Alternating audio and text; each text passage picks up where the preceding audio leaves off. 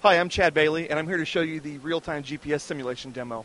We've added two new features in our GPS toolkit in the version coming out later this year. There are two features that are very important for real-time GPS simulation. First is that we can actually run our GPS toolkit on our real-time platform now. So we have a system that's running LabVIEW Real-Time 2010, and it's also running our GPS toolkit. In addition, we've added the ability to update the position on the fly as you do a GPS generation. What that means is we can design a system now that will take an input from a steering wheel and pedals and actually drive a GPS receiver. So I'll go ahead and start the software here.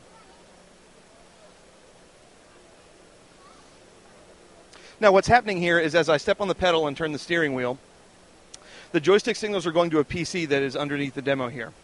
And you'll see that I have a Google Maps display showing me my current vehicle position on here. Now the software on the PC is sending a new location coordinate every 500 milliseconds to my GPS simulator here.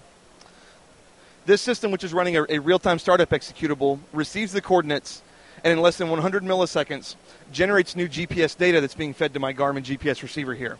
The end result is as I drive this car around the Google map of Austin, you can see that my Garmin handheld GPS actually displays the same position and updates in real time as I turn down different streets.